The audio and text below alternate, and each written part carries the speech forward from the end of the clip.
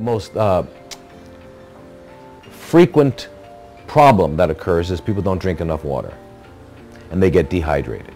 Now, if you can keep in mind that our body is 70% water and that our cells, basically inside the cell and outside the cell, is water. Okay, so when, when, if you get dehydrated, you're not getting enough water in your cells, they can't do their job. So that cleansing will proceed slower. Everything will happen slower, and then eventually it doesn't happen.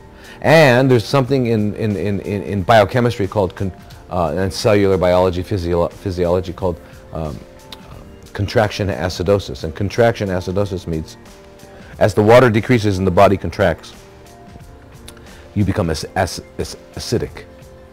And of course, everyone knows, it's well known now that you need we need to have alkaline blood, not acidic blood. So anyway, you don't want to become acidic, so that's why you're not getting enough water. So you got to keep the water up.